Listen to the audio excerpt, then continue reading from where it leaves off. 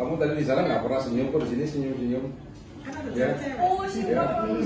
Tapi kondisinya semakin membaik ya. Sejumlah personel dari Polresta Cilacap menjenguk siswa SMP Negeri 2 Cimanggu yang menjadi korban perundungan.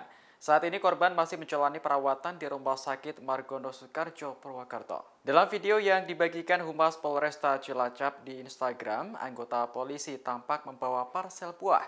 Korban FF 14 tahun yang melihat para polisi datang menjenguknya langsung tersenyum. Kapolresta Cilacap Kombes Pol Funky Ani Sugiharto mengatakan pihaknya memberikan trauma healing kepada FF. Tujuannya untuk memberikan dukungan emosional dan memastikan bahwa korban mendapat perawatan yang tepat. Sebelumnya, FF menjadi korban perundungan atau bullying oleh teman-teman sekolahnya. Akibatnya, korban mengalami luka lebam, sesak napas, hingga patah pada tulang rusuk.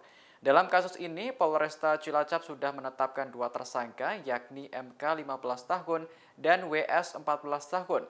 Namun karena mereka masih di bawah umur, proses hukum akan dijalankan sesuai Undang-Undang Sistem Peradilan Anak. Di Bulwan Cilacap itu. Saya Ibu, kita dari Polresta Cilacap. Ya, Ibu. Semangat ya Bu, dan kita Semangat ya, sehat ya, semangat pokoknya ya. Yang penting jangan trauma pokoknya ya. Nggak usah Harus takut. nggak usah takut pokoknya. Nanti harus tetap apa itu semangat untuk sekolah. Kamu tadi di sana nggak pernah senyum kok di sini senyum senyum.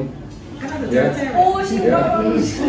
Tapi kondisinya semakin membaik ya, semakin sehat, semakin membaik, semakin ceria, semakin bahagia ya. Iya di sana kan semalam nggak pernah ketawa, di rumah nggak ketawa ya, di sini ketawa. Ya harus happy, harus bahagia, semangat biar sembuh. Terus sekolahnya tetap di sekolah itu atau kepengen ke sekolah lain? Nggak tahu. Nggak ada masalah di sekolah situ nggak masalah ya, nggak masalah kan? Nggak masalah. Iya.